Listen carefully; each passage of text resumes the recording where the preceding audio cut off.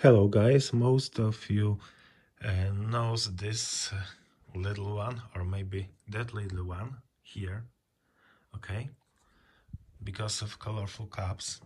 And there are, there are these cups from AliExpress from China. Each cup is coated by rubber, this one with white plastic element all the other like I don't know green ones are with black elements indicators okay? Each one is with two parts. As you can see you see this little here four one two three four okay? So you can adjust it goes straight to the knob. You don't see but it's not rounded inside. Okay now maybe. So you put it inside here. It's hard to do it. Okay. And put this cap on the potentiometer. Like here this black or this white okay. And is it hard to replace? Well not just do it like this. Okay this one white has black plastic black second part. You can just put it here again and that's all.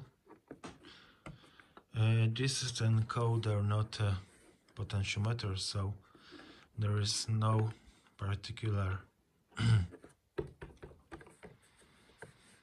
mistake when you put it here one cap uh, into another but on potentiometers you can adjust it uh, because of mm, here elements and here rows for rows so you can put it right as you have to do like this. Master violin. Okay. So it comes with color. Uh, light blue black white.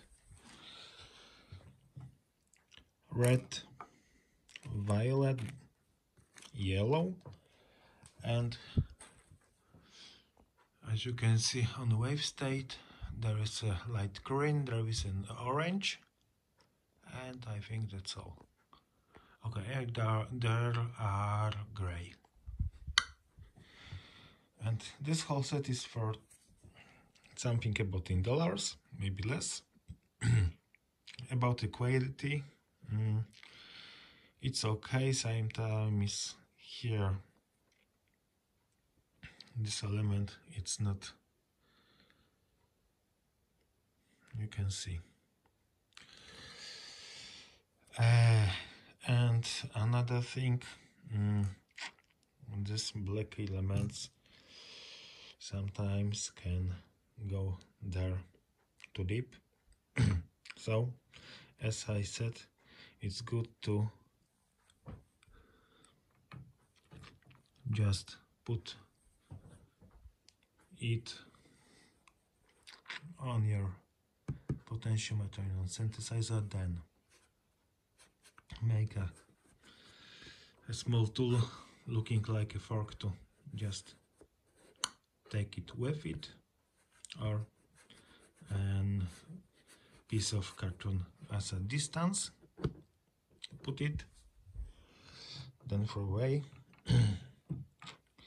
and when these two pieces are together just adjust some super glue something.